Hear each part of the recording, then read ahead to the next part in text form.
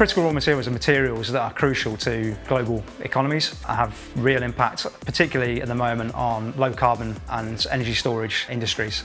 Nickel predominantly is used as an alloying agent, so it's used in the manufacture of stainless steel and also specialist alloys such as superalloys which are predominantly used in the aerospace and mining industries. In 2018, about 60,000 tonnes of nickel uh, was used in electric vehicles globally.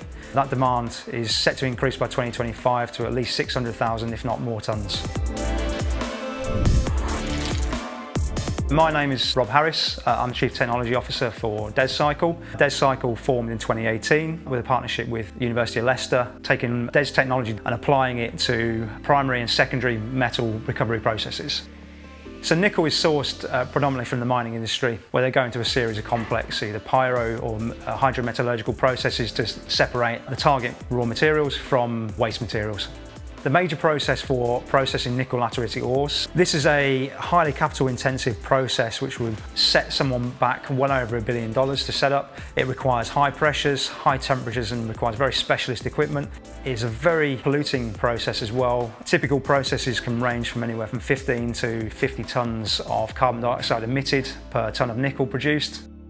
Our solution to sustainability of nickel production is to use a technology such as the deep eutectic solvents, or DES, as we now refer to them. They're a platform chemistry with well over a million combinations of formulations. They use very simple organic salts with simple organic molecules as well to form fluid systems at room temperature that are highly conductive.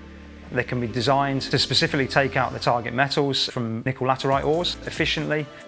They're user-friendly solvents, they're environmentally benign, they don't require specialised equipment, and so they're a very, very scalable and commercially viable technology. What really excites me is seeing major improvements over existing processes in this space and what we're trying to achieve with DESCycle.